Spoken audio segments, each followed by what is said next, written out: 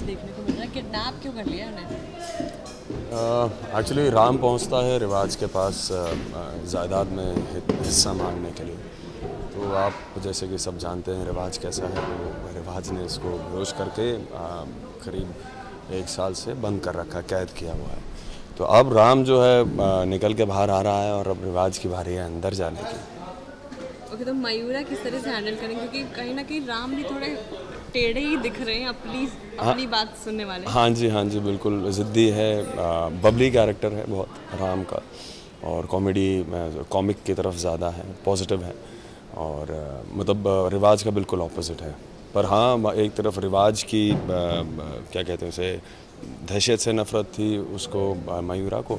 यहाँ इसके ज़्यादा उतावले होने की चिंता हो रही है।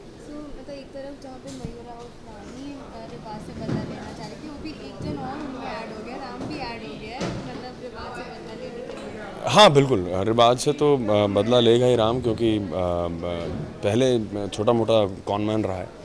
तो बड़ा स्ट्रीट स्मार्ट कैरेक्टर है। और लेगा बदला अच्छे से। अब तो बाँध दिया उसको रिवाज को। जी।